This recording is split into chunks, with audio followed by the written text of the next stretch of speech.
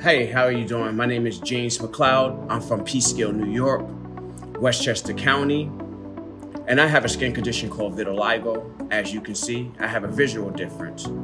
As a little boy, I always felt invincible to the world. I developed vitiligo at the age of 18 months old, as a baby. As a child, I was faced with bullying, teasing, and doubts. And I remember stepping in that cafeteria one day and it was just all eyes on me. It was like a bad dream. And there was no one, nowhere for me to sit at the lunch table.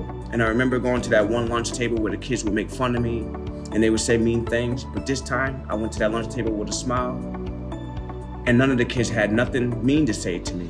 And I remember leaving that lunch table, going back into a formal line, and the kid who made fun of me, he tapped me on my shoulder and he said, thank you. And I said, Why are you thanking me for? He said, No one never smiled at me the way you smiled at me. I said, Why is that? He said, I get teased and I get bullied at home. That very moment, I knew a simple smile not only could change my life, but it could make a difference in someone else's life. And that day forward, I said I had a plan to change the world myself. And so I decided to write a children's book, The Boy Behind the Face, which I have here which I want to share with the rest of the world. And this see, this book is about a boy named James, so happened to be me. And I didn't like the fact that I was different. I didn't like the fact that people would stare, they point, they would say mean things. See, I wasn't afraid of the monster that was under my bed. I was afraid of that monster that I seen in the mirror every single day.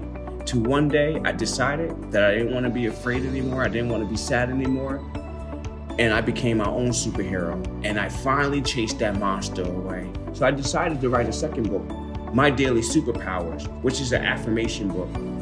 And every single morning as a little boy, I would say to myself, I like myself, I love myself, I know who I am.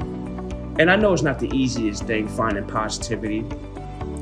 It wasn't easy for me, but sometimes you have to go through the dark to see the light. And whoever you are, if you have vitiligo or not, I know it's not easy. There might be someone watching this video who might be wounded, who might be scarred, who might be going through the heartaches and pain. But if I can do it, you can do it.